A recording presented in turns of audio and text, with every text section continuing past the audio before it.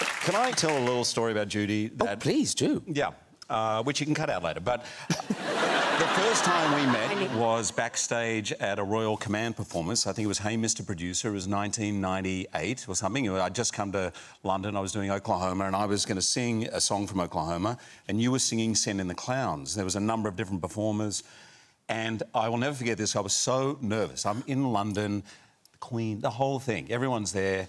And as I came down the stairs, you were performing before me. As I came down the stairs, you were standing the, the stage is right there. You were right next in the wing, and you were like this. You're going, "Why did I say yes? Why did I say yes? Why did I?" say yes? and you were muttering and muttering, and I said, "Judi," you're like, "What?" I said. You're amazing. I saw you at the dress rehearsal. You were the best thing here. And she goes, Really? I said, You're an incredible singer. She goes, Oh, shut up. I can't sing. What did I think? That's a great story. That's great.